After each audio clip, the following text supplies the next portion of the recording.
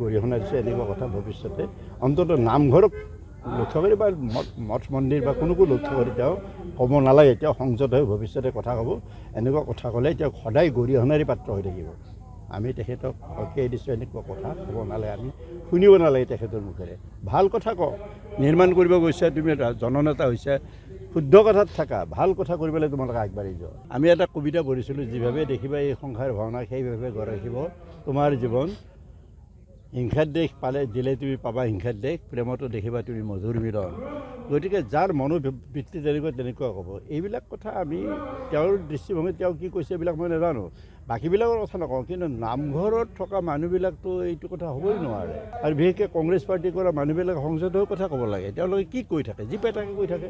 এদিন আমাৰ সভাপতি ডাঙৰীয়াই আমাৰেই মানুহ তেখেত তেখেতে কি কৈছিলে আপোনাৰ জেহাদ কৰে বুলি কৃষ্ণ ভগৱান কৃষ্ণ বুলি লাভ জেহাদ কৰিছে। এইবিলাক যি পাই তাকে কৈ থাকিব নালাগে। এটা সংযত হৈ কথা কোৱাটো ভাল। যি কথা ক'লে তেওঁৰ মৰ্যাদা বাঢ়িব আৰু মৰ্যাদাহীন কথা কাকো ক'ব নালাগে। এইটো তেখেতে মানে আমাৰ গুৰুজনাৰ ভক্তিত এইটো আপোনাৰ বেয়া বেয়া কথা তেখেতে কৈছে তেখেতৰ অপৰাধ হৈছে। তেখেতে আপোনাৰ ভকত বান্ধি পেলাই তেখেতে ভকতৰ ওচৰত আপোনাৰ ক্ষমা খুজিব লাগে মোৰ মোৰ ইমানেই প্ৰাৰ্থনা। দুখ দুখ পাইছে অঁ নাই আমি অন্তত বহুত দুখ পাইছোঁ। আমাৰ আমাৰ ভকতৰ সমাজক এনেকৈ কোৱাটো আইনমতে বেয়া আৰু তেখেতে একচুৱেলি গুৰুজনাক এইটো অপমান কৰিছে। অসমীয়া জাতিক অপমান কৰিছে। জাতি জনজাতি খিলঞ্জীয়া সকলোৱে আমাৰ গুৰুজনাৰ একান্ত ভকত আছিল। আৰু তাৰ আৰু সেই ভকতৰ নাম শংকৰ মাধৱে আপোনাৰ চকুৰিজন ভকত আছিল। চকুৰিজনৰ ভকত আমাৰ জাতি জনগোষ্ঠী সকলোৱে আছিল। সেইকাৰণে আপোনালোকৰ চৰণৰ সেৱা জনাই আপোনালোকে তেওঁক কওক আৰু ভৱিষ্যতে যাতে তেখেতে এনেকুৱা নকয়। আৰু মই তেখেতৰ ওচৰত মানে মই তেখেতক তেখেতে ভাল হওক মই এইটোৱে বিচাৰোঁ। গৰিহণা দিছে এনেকুৱা কথা ভৱিষ্যতে? অন্ততঃ নামঘৰক লক্ষ্য কৰি বা মঠ মঠ মন্দিৰ বা কোনোকো লক্ষ্য কৰি তেওঁ ক'ব নালাগে তেওঁ সংযত হৈ ভৱিষ্যতে কথা ক'ব। এনেকুৱা কথা ক'লে তেওঁ সদায় গৰিহণাৰী পাত্ৰ হৈ থাকিব। আমি তেখেতক সকীয়াই দিছোঁ এনেকুৱা কথা ক'ব নালাগে আমি শুনিব নালাগে তেখেতৰ মুখেৰে।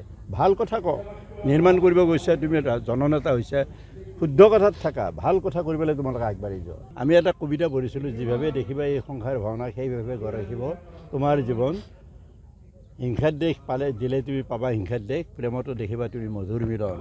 গতিকে যাৰ মনোবৃত্তি তেনেকুৱা তেনেকুৱা ক'ব এইবিলাক কথা আমি তেওঁৰ দৃষ্টিভংগীত তেওঁ কি কৈছে এইবিলাক মই নাজানো।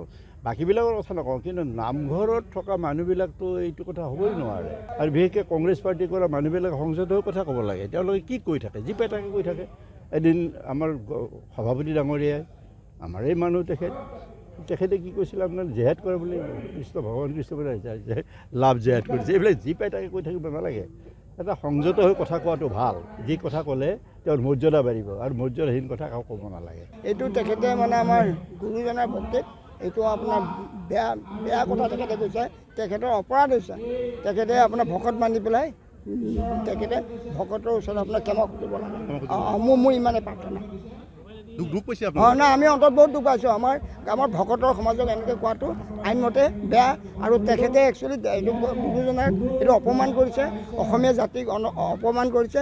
জাতি জনজাতি খিলঞ্জীয়া সকলোৱে আমাৰ গুৰুজনাৰ একান্ত ভকত আছিল। আৰু তাৰ আৰু সেই ভকতৰ নাম শংকৰ মাধৱে আপোনাৰ চকুৰিজন ভকত আছিল। চকুৰিজনৰ ভকত আমাৰ জাতি জনগোষ্ঠী সকলোৱে আছিল। সেইকাৰণে আপোনালোকৰ চৰণৰ সেৱা জনাই আপোনালোকে তেওঁক কওক আৰু ভৱিষ্যতে যাতে তেখেতে এনেকুৱা নকয় আৰু মই তেখেতৰ ওচৰত মানে মই তেখেতক তেখেতে ভাল হওক মই এইটোৱে বিচাৰোঁ।